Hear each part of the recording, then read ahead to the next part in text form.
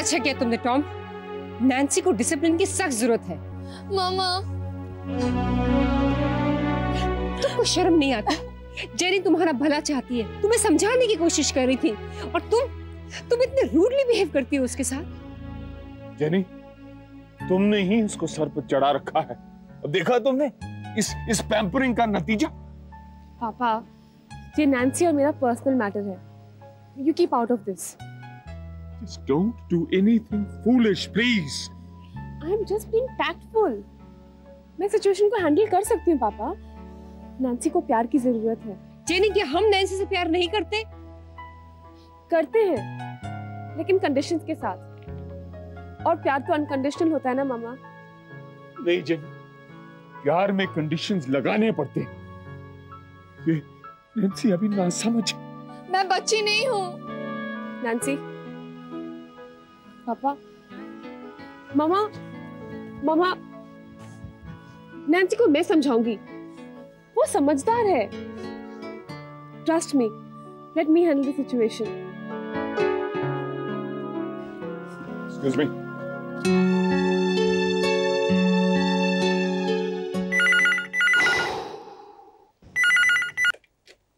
Hello hello good evening mister Tom मैं शकुंतला बोल रही हूँ।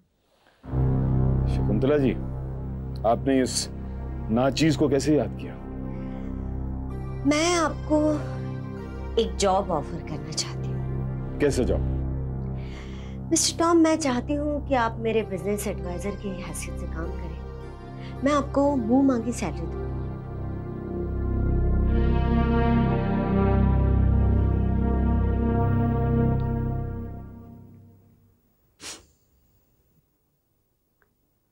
ओफो शारदा इतने अच्छे मौसम में मैंने सोचा बैठ के गपशप मारेंगे। और तुम? आइए बैठिए ना। हम्म, भगवान बचा ऐसे इश्क से। अच्छा है मुझे तो नहीं हुआ भाई। क्यों? मानिक भैया को प्यार नहीं करती आप? करते हैं पर हिसाब से। तुम्हारी तरह नहीं ये दीवानगी देखो। हाँ फ़ोटो पे हँसी आँखों में आँसू और हाथ में तस्वीर। नहीं बाबा नहीं। मुझे देखो मस्त हूँ खा पी के एकदम मस्त हूँ। चलो हँसी तो। हाँ वाकई आज मैं बहुत खुश हूँ। अच्छा विनायक भैया से मिली क्या? हाँ। जानती है? आज उनकी आँखों में मैंने अपने लिए गहरा प्यार देखा और मुझे महसूस हुआ कि हालात ने हमारे बीच दीवार ज़रूर खड़ी कर दी थी। लेकिन वो कभी हमें जुदा नहीं कर पाए। और ना ही हमारे रिश्ते में कोई दरार पैदा कर पाए। और शकुंतला का मामला? शकुंतला भी उन हालात का एक हिस्सा थी और कुछ नहीं। तो तुमने विनायक भैया को माफ़ कर दिया? दिल से। और जानती हैं इसकी प्रेरणा मुझे किसने दी? रोहित ने। रोहित बहुत शरीफ और प्यारा लड़का है। पहले सिमी भी उसे गलत समझती थी पर अब देखो सब ठीक हो गया। अंजलि भी तो उस घर में कितनी खुश है। मिश्रा जी भी उसे अपनी बेटी की तरह प्यार करते हैं। लेकिन अफसोस मैंने उन्हें समझने में कितनी देर कर दी। शारदा तुम्हें दुखी रहने की आदत हो गई अरे हमारी दोनों बेटियाँ खुश हैं। तुम्हें विनायक भैया के प्यार पे भरोसा हो गया। और क्या चाहिए हमें? आप बताइए क्या करूँ मैं? सिंगार पटार करो खूब खाओ दबा के खाओ मेरी तरह गोल मटोल हो जाओ। ये तो सही स्वीट हार्ट जा रहे हैं आप। वाला। वाह क्या कार है? ये किसकी गाड़ी है रोहित? ये गाड़ी रजत मिश्रा की है। हम्म, मेरी? हम्म। थैंक्स भैया। अरे अरे थैंक यू मुझे नहीं शारदा आंटी को कहो। ये तोहफा शारदा आंटी ने भेजा है। ये ये तोहफा माँ ने भेजा है? हम्म, Oh माँ का जवाब नहीं अरे हटो यार डेंट पड़ जाएगा। भाई वैसे अगर उनका दामाद इतना लाजवाब है तो तोहफा भी नेचुरली लाजवाब ही होगा। मुबारक हो मुन्ना लगता है तुम्हारी सास तुम्हारी कदर करने लगी। हमें चलकर माँ को फ़ोन करना चाहिए। देखो स्वीटार्ट इसे कहते हैं समझाना। व्यवहार। भाई बेटी के ससुराल से ऐसे तोहफे आने चाहिए। मिठाइयों के डब्बे नहीं।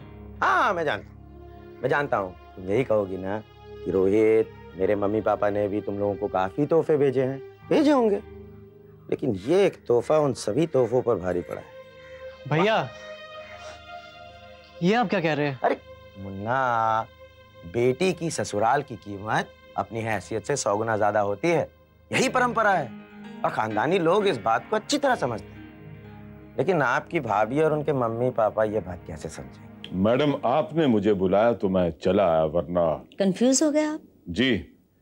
जिनसे दोस्ती की उम्मीद थी उन्होंने ही मुझको नौकरी से निकाल दिया। और जिनसे दोस्ती की उम्मीद बिल्कुल नहीं थी आपसे दोस्ती निभाना चाहते हैं है ना?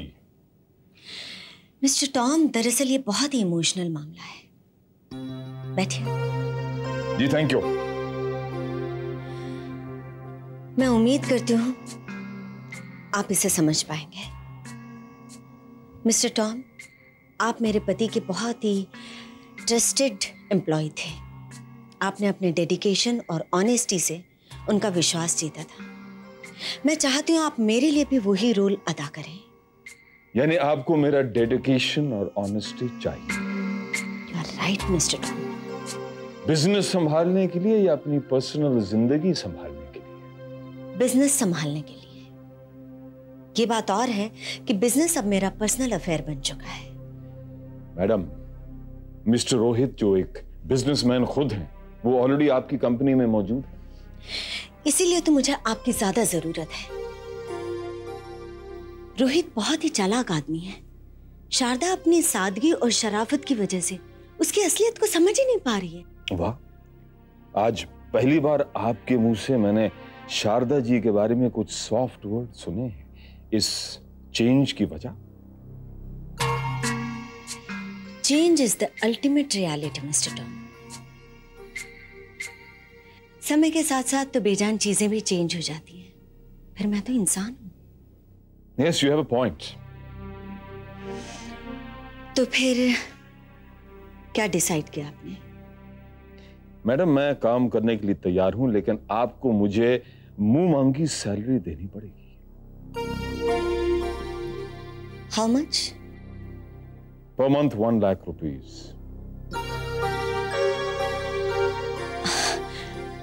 Anand आपको कितनी सैलरी देते थे? इससे बहुत कम। तो फिर इतनी बड़ी रकम आप मुझसे क्यों चाहते हैं? चेंज मैडम चेंज मेरी सर्विसेज़ की फ़ीस चेंज हो गई है। आपने खुद अभी अभी कहा था ना कि change is the ultimate reality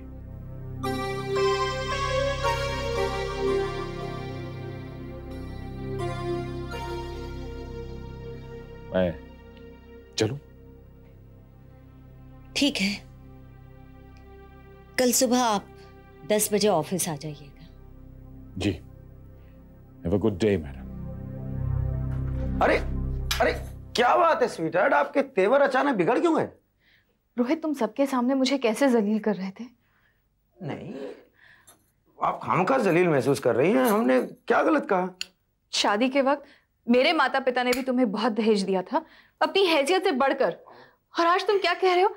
कि उन्हें समझाने की परंपरा निभानी नहीं आती? उन्होंने दहेज में नई गाड़ी तो नहीं दी थी ना।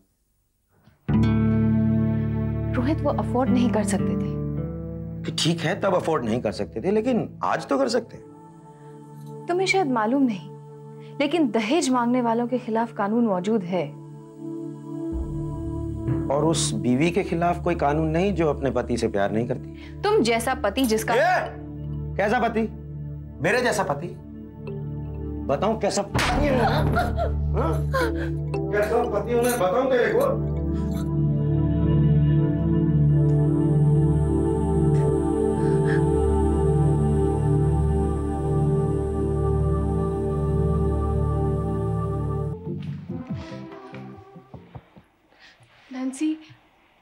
डोंट ट्राई देखो मैंने मम्मी पापा से कह दिया है वो आइंदा तुमसे इस तरह बात नहीं करेंगे। Go away, go away, just get out of my room. You so rude मैंने तुम्हारी वजह से मम्मी पापा के साथ झगड़ा किया और तुम इसका कारण तुम हो जेनी। इस सारे क्योस का कारण तुम हो। लेकिन मैंने तो तुम्हारी साइड ली ना। पहले मुझे हर्ट करती हो और फिर मेरा साइड लेती हो। You are such a hypocrite Just shut up, Nancy. Enough is enough. तुम ही ने कहा था ना कि अजय ने तुम्हें प्रपोज किया था? इतना बड़ा झूठ क्यों कहा तुमने मुझसे? ये झूठ नहीं है। ये सच है। अजय ने मुझसे प्रपोज किया था। ये सच नहीं है। तुम तो सिर्फ़ मुझे जलाने के लिए ये सब बातें कर रही हो। और अजय तो मुझसे प्यार करता है। वो तुम्हें क्यों प्रपोज करने लगा? एक मिसअंडरस्टैंडिंग की वजह से। जो मैंने अजय के साथ क्लियर कर ली थी। मैंने जैसे साफ़ साफ़ कह दिया था कि वो सिर्फ़ मेरा दोस्त है। मैं प्यार सिर्फ़ अशोक से करती हूँ। और अगर ये मिसअंडरस्टैंडिंग क्लियर हो गई थी तो ये सब बातें तुमने मेरे सामने दोबारा क्यों रिपीट की? क्योंकि मैं ये नहीं चाहती थी कि अजय मुझसे बदला लेने के लिए तुमसे प्यार का नाटक करे। अजय ऐसा लड़का नहीं है। Well I hope so what you mean I hope so हाँ? देखो नैन्सी मैं सिर्फ़ इतना चाहती हूँ कि अजय तुम्हें किसी भी तरह से हर्ट नहीं करे। मैं तुम्हें अजय से खबरदार करना चाहती हूँ। You are just jealous of me no Jenny you just jealous of me तुम्हारा प्यार तो तुम्हें छोड़ के चला गया। You are disgusting will you just make me sick और I hate you I absolutely hate you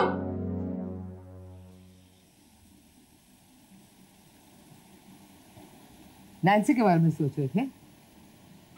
नहीं माया औरतों के बारे में सोच रहे थे। Really how interesting? Interesting powerful and dangerous also dangerous वो कैसे एक औरत मेरी माँ है जो धीरज और श्रद्धा से बरसों अपने हस्बैंड का इंतज़ार करती रही एक औरत तुम हो माया जिसने अपने डिवोशन से अपने हस्बैंड को जीने की एक नई राह दिखाई।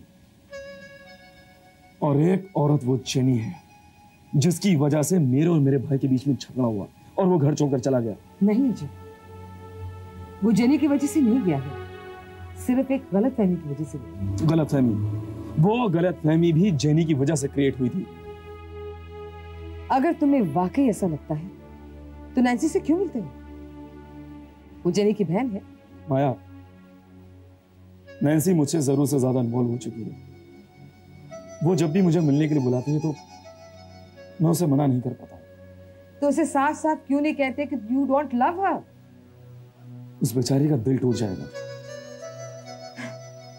अजय कभी ना कभी जब उसे पता लग जाएगा कि तुम उसे प्यार नहीं करते हो अरे उसका दिल तो क्या? वो खुद टूट जाएगी।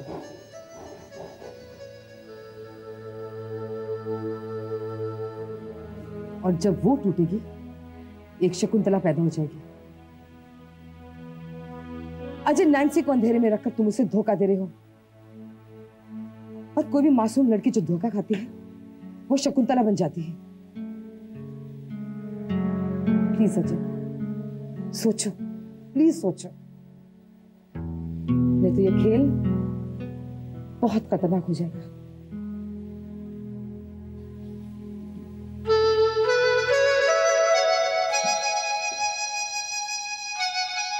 बिज़नेस वूमन तुम्हारी लाइफ बहुत बदल गई होगी ना शारदा मज़ा आ रहा है?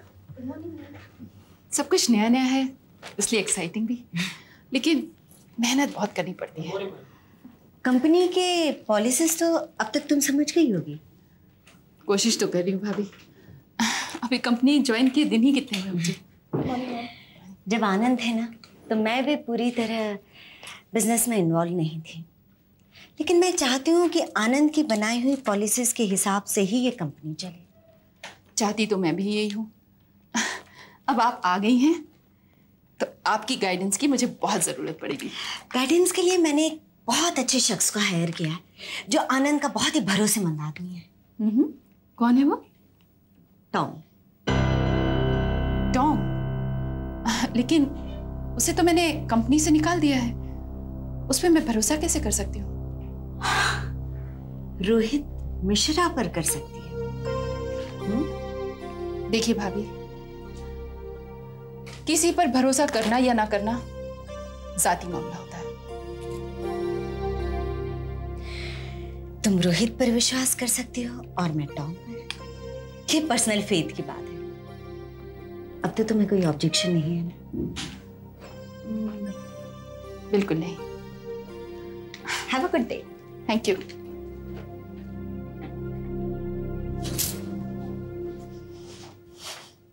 And you have a good day too, Shakuntala Devi. Call me just ma'am.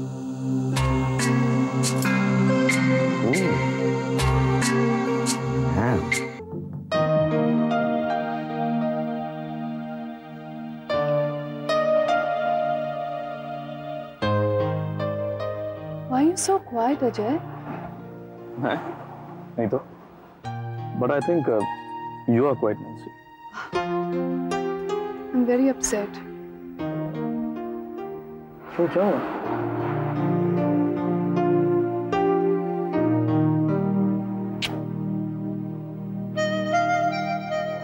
Nancy Vanished. My pain has completely vanished.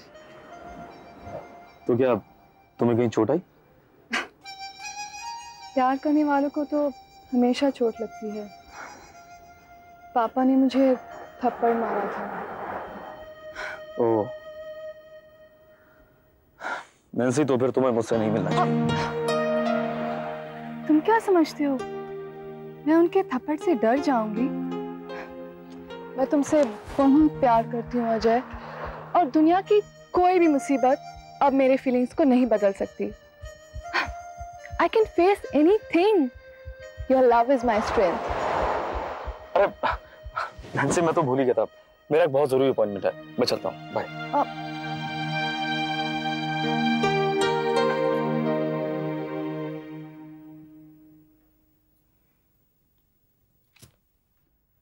Anjali? अरे सिमी? बहुत सुंदर लग रही हो। मैंने तुम्हें इतना सजा सवरा पहली बार देखा है। अंजलि आज मेरी पहली वेडिंग एनिवर्सरी है। मेरी happy returns of the day Simi पहले क्यों नहीं बताया? मैं कोई अच्छा सा गिफ्ट ले आती। तुम्हारी बेस्ट विशेस और दुआएँ ही मेरा सबसे अच्छा गिफ्ट है अंजलि। सिमी कुछ उदास लग रही हो?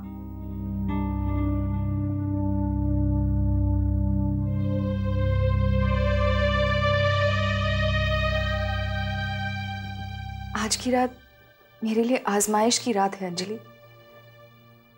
मेरी और रोहित की शादी को एक साल हो गया। लेकिन इसके बावजूद हम दोनों के बीच दिल का रिश्ता नहीं बन पाया। दोष मेरा है। मैं ना चाहते हुए भी उसे मन से अपना नहीं बना पाई। एक बात पूछूँ? कहीं अशोक भैया की याद? नहीं नहीं। अंजलि नहीं। इसमें अशोक की कोई गलती नहीं है। मैंने कहा ना, दोष मेरा है। शायद नहीं समझ नहीं पाई कि मुझे रोहित को बदलने की कोशिश नहीं करनी चाहिए थी। वो जैसा है, उसे, उसी तरह मुझे अपनाना चाहिए था। लेकिन शायद रोहित भैया गए। लक भगवान तुम्हें शक्ति दे सिमी